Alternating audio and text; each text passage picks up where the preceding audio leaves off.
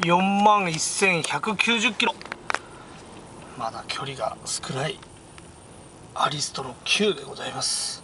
平成4年の初期型でございますがいろいろと愛されてきた1台でございます。オーナー様ツオナ目でずっと大事に乗られてまいりまして丁寧に乗られてました。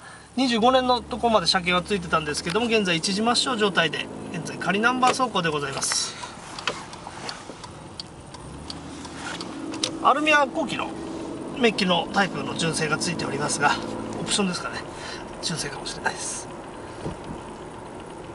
いい感じでございます。バッテリーちょっと弱かったので、えー、程度のいいまだある湯浅のバッテリーに変えました。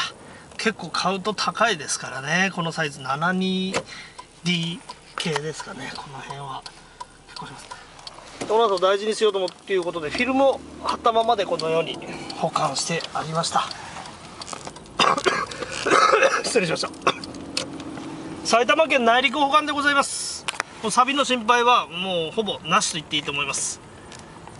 ミラーとかのコントロールもですね全て切除作動。キーレスが電池切れなんでしょうかね。ちょっと弱くなっちゃってますが弱弱いというか使えなかったですけどもまあ電池替えでいけるかなと思います。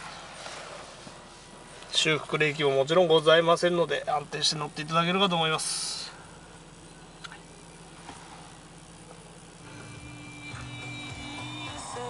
音もいいですね。はい。エアコンももちろん正常でしっかり効いてる状態でございます。オートエアコンですかね。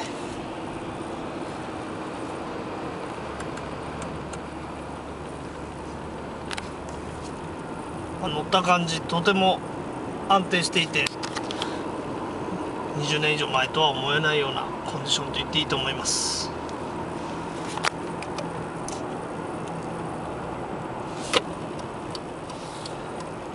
ハンドルをクイックに切ってみようかと思います。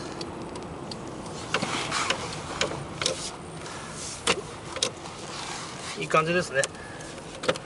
ドライブシャフトとかも全くもちろんですけどねこの距離ですから。イオンもなくですね。車検もそのまま通るんではないかというコンディションでございます。他に気になるところ、まあ、ボディの方でですね小さい飛び石のような傷ですかね。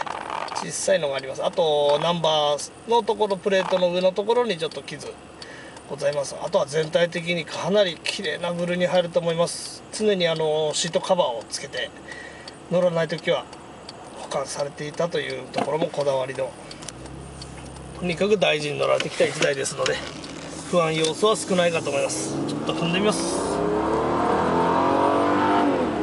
はい。もう NA でも全然素晴らしいですね。3000の追加のエンジン。しっかり吹き上がってくれます。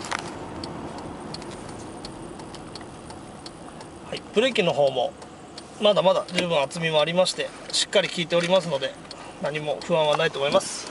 灰皿のとこですね。もちろん使っておりません。ちょっとあの小物とかゴミカスがあるみたいな感じで見えてるだけですので全く使ってないというのは間違いございません、はい、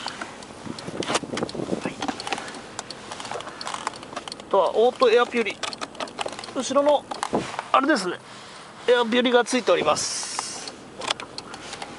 トヨタらしいという感じでしょうかね。はい。この辺も少しカタカタしたんでしょうかね。こういうところも。厚みのいる断熱断熱と言いますか。断なんですかね。ウレタンみたいなのが入ってますし。小物入れもございます。ということでですね。電角もちゃんとついてますから。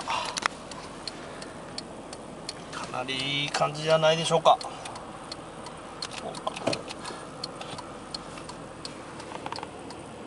季節になりました。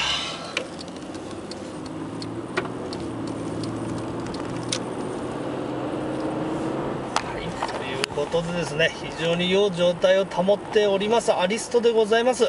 シルバーの色もとても良いですので、ね、ぜひご検討いただければと思います。ありがとうございました。